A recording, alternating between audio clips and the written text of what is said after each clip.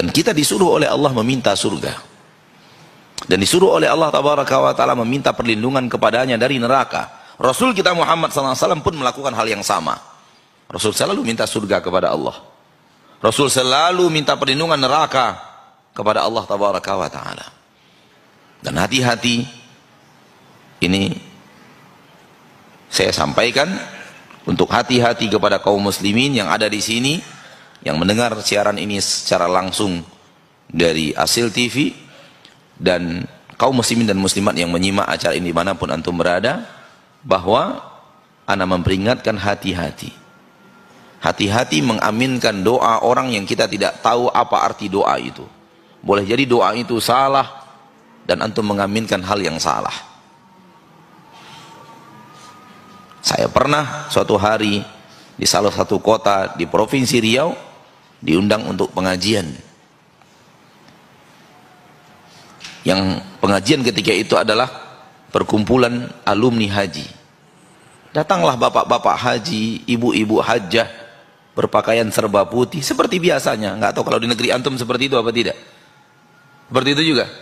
Berpakaian serba putih. Kita berikan kajian. Kita berikan kajian tausiah Al-Quran hadis yang kita ketahui di penghujung acara panitia minta anak untuk memimpin doa bersama. Anak katakan maaf bapak dan ibu saya tidak bisa.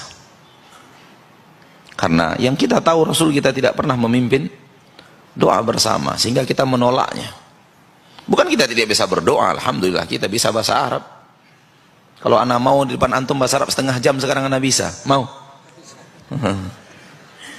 iya. Tetapi Memang karena kita tahu bahwa Rasul kita tidak pernah memimpin doa bersama sehingga kita berusaha mengikuti Rasul untuk tidak memimpin doa bersama. Akhirnya di acara itu diminta salah seorang ustadz yang hadir untuk memimpin doa bersama. Ustadz itu membaca doanya salah. Namun jamaahnya tak tahu kesalahan doa yang dibaca ustadz. Karena memang ustadznya mungkin mungkin gimana gitu ya dan jamaahnya sudah jelas tidak tidak mengerti bahasa Arab.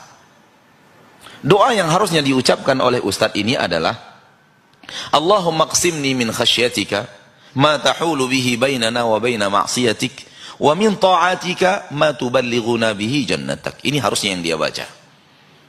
Yang benar lafaznya. Ya Allah, berikan kepadaku rasa takut kepadamu sehingga rasa takut itu membentengi antara diriku dan maksiat kepadamu dan berikan kepada aku ketaatan kepadamu. Rezekikan aku ketaatan kepadamu yang dengan ketaatan itu engkau sampaikan aku ke surgamu. Namun Ustadz tadi salah baca doa. Yang dia baca adalah berikut ini. Allahumma qsinna min khasyatika ma tuhawwiluna bihi jannatak. Yang artinya ya Allah berikan kami rasa takut kepadamu yang dengan rasa takut kepadamu itu engkau pindahkan kami dari surgamu. Kata bapak ibu haji dan hajah amin. Kabulkanlah ya Allah. Hati-hati. Minta untuk dipindahkan dari surga. Mau pindah ke mana bapak haji Mau pindah ke mana Bu Haja? Tempat di akhirat hanya ada dua. Kalau tidak surga berarti neraka. Berarti ini doa, doa minta neraka. Walau lafaznya surga. Lafaz yang disebut surga. Tapi maknanya minta ke ke neraka. Ya Allah, berikan kami rasa takut kepadamu. Yang dengan rasa takut kepadamu itu, engkau pindahkan kami dari surgamu. Mau ke mana?